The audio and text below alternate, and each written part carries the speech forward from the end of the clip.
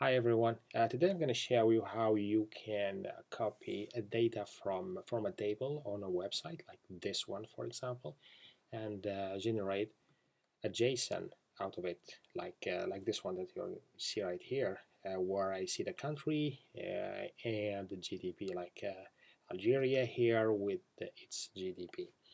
So let's get started. Um, for this example I went to Wikipedia and I just write Africa. And uh, click on the economy section and this is the table that I would like to have okay? So right click go to uh, inspect where the whole thing is gonna start here okay? I'm just gonna get it okay great. First thing uh, to do is click on the little arrow here and click on the first cell of the table when you do that it will appear here on the element side. And go and grab this one the T body. Okay? Notice that there is this uh, dollar sign zero. What that means if you go to console and I just have to write a dollar zero what I see is the table. So it's like uh, Google Chrome uh, allows me to access the entire table just by selecting it. And it is saved in this uh, variable called uh, this variable that I it's the dollar sign dollar sign zero. Okay that's great. So how can I get the data out of it? Because as you can see here it's still HTML elements. It's not the data that I would like to have like uh, the JSON here I showed you earlier. So to do this there is a little trick and uh, here it is. Oh, I'm gonna just uh, close this one. Yeah. So what I have done here basically is just uh, I created uh, a variable called uh, the whole table. And dollar sign dollar sign parentheses uh, tr and after that here is my little guy the dollar sign zero and why I have done this is just to copy the information from dollar sign zero to the whole table. So if I go with the whole table click enter you see it's the same thing. I have this table here but it's uh, it's an object. It's not an element like this one. So it's easily accessible and easily um, if you use JavaScript it's very easily to get data out of it but still it's not the data that I would like to have right away. Okay so the next thing to do I have done it earlier also it's to set this uh, code.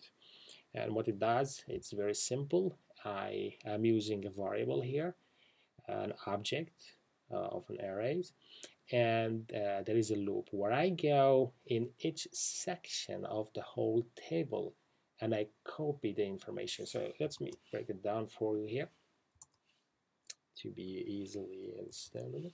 Okay, the first thing I do, it's uh, this is my object and I build for each element of that object, it's like another object inside. I build uh, an object on the fly with the country and GDP as properties. And after that, I go in each cell of the whole table and I copy the first one here and the second one here. So just for for the record I'm just gonna copy this one here. I'm gonna show you something cool. Uh, I'm gonna skip this one but I'm gonna do it later. If I go like this and I'm gonna remove that and I go with zero what that means I'm pointing here in the first cell. Okay I skip that part sorry and if I click you see there is rank. If I go to the second one or let's say I'm gonna write one I'm gonna see country. Why? Because the whole table as I said is a table. And every part here or cells it's easily accessible by this line of code okay? And uh, the last trick I'm going to show you here when you write inner text it's just for elements to copy or to display the information inside. Okay, now this one, because there was an E here, I'm just going to replace it with zero. Okay, country, because we're pointing here. I'm pointing on that part of the table, this cell, and I would like to have what is inside and what's inside is country right the second thing that I want to show you too if I go with the same thing let's say that I would like to point here so this is the second line and the third column. So the second line so I go with 1 because it starts with 0 don't forget that. And the third column is number 2 because this is how it works like 0 1 2 right? 0 1 2 3 4 and, uh, and so on. If I do this and I click enter I still have the information but this is a string. It's not a value it's not a number it's a string and I have to convert it to a value. So that's why there is this uh, little string here. So I'm going to show you.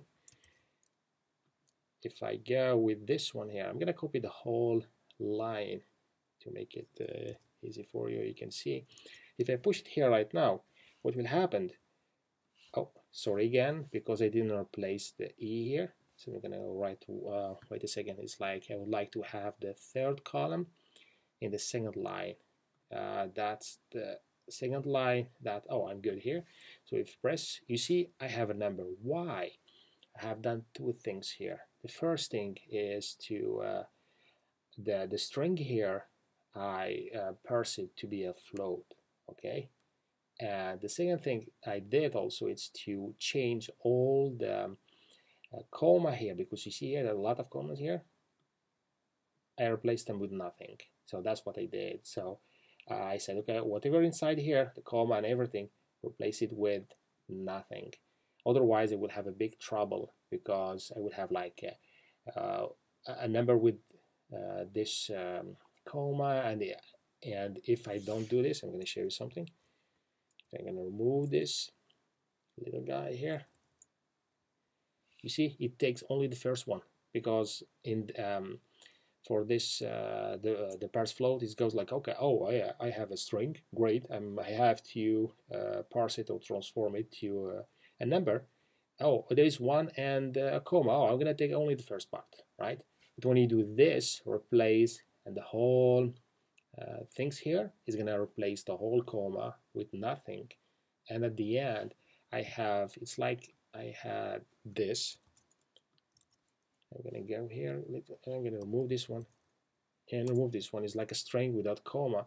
And after that if I use the float here let's uh, let's do it for you guys. You can see. Because I really like this one and uh, that's the most important part of this. And here it, it, it works right? So let's do that. Uh, oh wait a second. I'm gonna clean that because it's like too much to follow I'm clean it here. I'm gonna go back to my uh, nice loop.